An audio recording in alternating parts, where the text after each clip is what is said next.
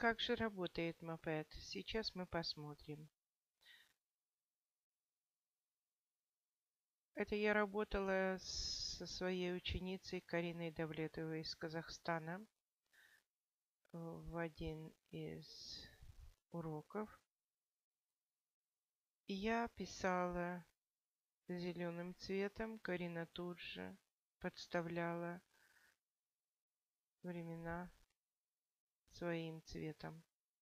Вы можете наблюдать, как происходит работа одновременно преподавателя и ученика.